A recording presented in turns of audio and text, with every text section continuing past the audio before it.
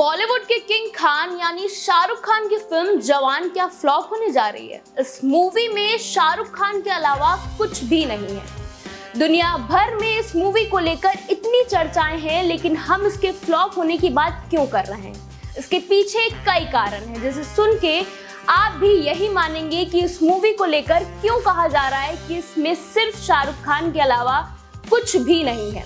चलिए विस्तार से इस पर बात करते हैं। पहले आप जान लीजिए कि यह मूवी 7 सितंबर को रिलीज़ होने जा रही है। लोग क्यों कह रहे हैं कि शाहरुख खान को छोड़ जवान में सब कुछ है जो एक फ्लॉप मूवी में होना चाहिए।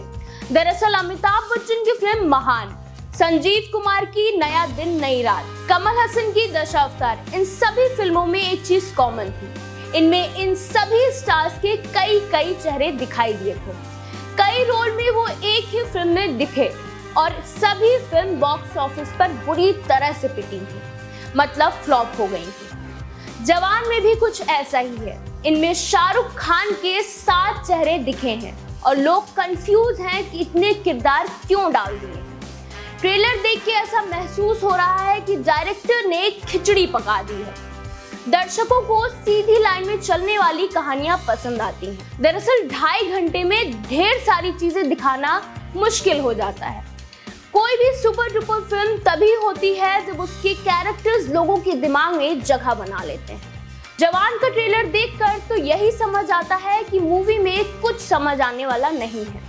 नयनतारा की बात हो रही थी कि दीपिका पादुकोण नज़र आ गई। इसके अलावा एक गर्ल गैंग भी है। सात तरह के तो शाहरुख ही नज़र आ रहे हैं। विलन भी दो तरह के हैं। ऐसे में मूवी का खिचड़ी बनना तो तय है। अगर बात करें मूवी के म्यूज़िक की तो उसे भी कुछ खास पसंद नहीं किया गया है। पठान में म्यूज़िक का चस्का ज़बरदस्त था, जिसकी वजह से लोगों की उत्सुकता और भी ज़्यादा बढ़ गई थी। झूमे जो पठान पर जिस तरह से शाहरुख ने सबको झुमाया था, वह खूबसूरती इस मूवी से गायब है। पठान की ग्रैंड सक्सेस ने शाहरुख से दर्शकों की उम्मीद और बढ़ा दी है। इसके साथ ही जवान को लेकर इतना हाइप क्रिएट हो गया है कि अगर जरा भी फ़िल्म कमज़ोर हुई तो मूवी का डूबना तय है। अब देखना दिलचस्प होगा कि जवान को लोग पसंद करते हैं या नहीं। आपको ट्रेलर कैसा लगा कमेंट्स में ज़रूर बताइएगा। मिलते हैं अगले वीडियो में। देखते रहिए लाइव यूपी न्यूज़ 24